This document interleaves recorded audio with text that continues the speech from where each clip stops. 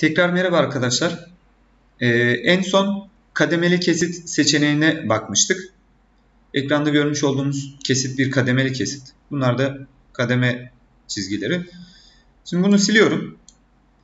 Şimdi anlatacağım kısım hemen yan kısımda yer alan ölçülendirme menüsü. Böyle görünüşümüzü çekelim biraz. Ölçülendirme menüsü Sketch'teki ölçülendirme ile tamamen aynı. Bakın arayüz aynı, özellikler aynı noktadan noktaya örneğin şu noktadan işte şu deliğin merkezine olan ölçü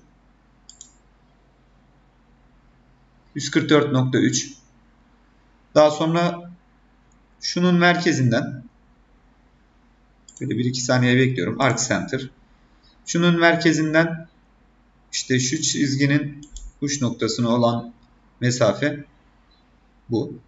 Şöyle ölçülendirme e, okunu, ölçülendirme çubuğunu şöyle tıklamadan e, bırakıp 1-2 saniye beklediğiniz zaman bakın şöyle bir arayüz gelmekte. Bu arayüzde e, bu ölçünün toleranslarını, özelliklerini vesaire ayarlayabiliyorsunuz. Bakın şurada şu an tolerans çeşidi kapalı. Buradaki artı eksi, artı eksi seçenekleri gibi H7 toleransı, limitler, gibi buradan ayarlayabiliyorsunuz. Ya da şöyle ekranda tolerans ölçülendirmesi yapmadan konumlandırdım. Ardından ölçüye sağ tıklıyorum. Settings'ine gidiyorum. Şöyle biraz küçülteyim. Settings'inde bakın burada arkadaşlar. Şöyle biraz büyüteyim. Tolerans kısmı var. Toleranstan artı eksi olsun örneğin. Virgülden sonra iki rakam olacak şekilde olduğunu söylüyor. 3 olsun. İşte 0.12. Şöyle vermiş olduğunuz artı eksi tolerans seçeneği. Buradan başka tipler de var. Artı ya da eksi seçeneği. İşte artı olarak 0.12, eksi olarak 0.02. Şu şekilde bir ölçülendirme, toleranslandırma seçeneği. Daha sonra ok tiplerini belirleyebiliyorsunuz buradan. Biraz daha genişleteyim. Text kısmında bakın burada arkadaşlar dimension text kısmı var. Bir de tolerans text kısmı var. Yani teknik resme bu ölçülendirme yapılırken şu ana ölçü biraz daha e, yüksek boyutlu. Toleranslar ise biraz daha küçük boyutlu. Küçük küçük gösterilir. Buradan dimension Yüksekliğini örneğin 5 yapalım. Şurada apply to entire dimension seçeneği aktif olduğu için bakın bunu yazmış olduğumuz için bunu yazdığımız zaman bunlara da geldi. Şunu kapatıyorum. Şöyle 6 yapıyorum. Bakın sadece bu sefer bu değişti. Tolerans text kısmını da Şurada ne yazıyorsanız bakın. Bunu kapattıktan sonra buraya yansımıyor. Bu kısmı da 3'e çekiyorum. 3'e çektiğiniz zaman aynı ölçülendirme seçeneği. Buradaki ayarlardan bunu ayarlayabiliyoruz. E, ardından yine Rapid içerisindeki seçenek ile örneğin şu çemberin çapını ölçülendirelim. Yine aynı şekilde buradan isterseniz özel bir seçenek belirtebilirsiniz. Mesela çap değil radyal bir ölçülendirme yapacaksınız. Şöyle gelip yine 1-2 saniye bekleyip doğru olanı seçmek için drafting edge olarak radyus olarak şöyle bir ölçülendirme yapabilirsiniz.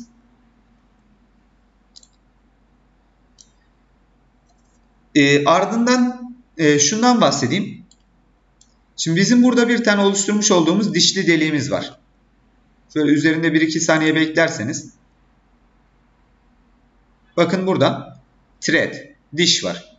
Şimdi teknik resimde e, model ortamında çizmiş olduğumuz bu dişli deliğin ölçülerini otomatik olarak teknik resim ölçülendirmesini yansıtabiliyoruz. Öncelikle şöyle bir şey yapıyorum e, şu görünüşün sınırlarını biraz daha arttıralım. Yani şöyle bir sınır olsun. Bakın şurası biraz dar. Görünüşe sağ tıklıyorum. Buradaki boundary komutu ile yani çerçeve komutu ile şuradan otomatik rectangle değil manuel rectangle seçeneğiyle şuradan başlıyorum. Şöyle bir dikdörtgen çiziyorum bakın. Sadece üst kısmı biraz genişletiyorum. Ve şöyle bırakıyorum. OK dediğiniz zaman bakın çerçeveyi büyüttük. Bu e, diş ölçülerini otomatik olarak yakalayabildiğim seçenek şurada. Radial Dimension üzerinde komutu yenileyelim. Inferred değil, whole call out. Yani deliğin ölçülerini otomatik çağırma seçeneği. Objenizi seçiyorsunuz. Bakın üzerine geldiğiniz zaman direkt dişi algılıyor. Threaded hole. Modeling'de delmiş olduğum delik. Seçtim bunu. Buraya konumlandırıyorum.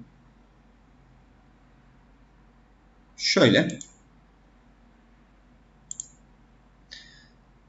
Ardından bu ölçüye sağ tıkladığım zaman yine settings'ine girdiğimiz zaman bakın komut içerisinde yine az önce bakmış olduğumuz ok, ölçü gibi seçenekler mevcut. Ancak en altta Holy Callout seçeneği mevcut. Yani bu deliğin özelliklerinin geldiği kısım. Örneğin siz burada thread depth yani diş derinliğini de eklemek isteyebilirsiniz buraya. Şunu aktif etmeniz yeterli.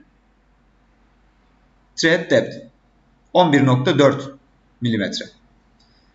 Ardından hatveyi ekleyebilirsiniz. Bakın metrik 22 2.5 hatvemiz varmış. Zaten burada yazıyor. Ekstra eklemek isterseniz buradan kaldırıyorum. Daha sonra diş üstü çapı, diş dibi çapı, minor. Bakın minor diameter, major diameter. Ve son olarak matkap delik çapı. Diş çekilmeden önce matkap ile delik delinir. Bunu aktif ettiğiniz zaman bakın 19.5'la matkap delinmiş. Diş dibi çapı 19.3'e düşüyor. Diş üstü çapı 22'ye çıkıyor. Delmiş olduğumuz delikle. Şuradan depth'i kapattım. Ve komutu onaylıyorum.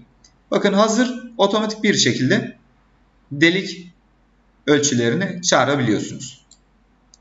Bir sonraki videoda görüşmek üzere.